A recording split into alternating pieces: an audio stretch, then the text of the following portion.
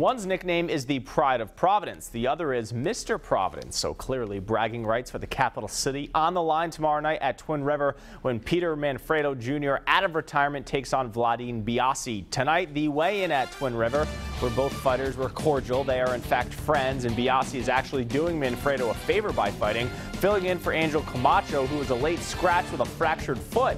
Both Manfredo and Biosse admit they respect each other, but tomorrow night, once in the ring, it's all business. I trained for a righty, uh, and the, the righty pulled out, something happened, so now I'm fighting a lefty, which I didn't train for, and it's only a week. You know, you can't prepare for a week in a lefty, but my experience will get me through. This is an honor, man. To share in the ring with a man like that and being able to compete with a man like that um, is great. But at the same time, is I will compete. No ends, no if, ends, about it.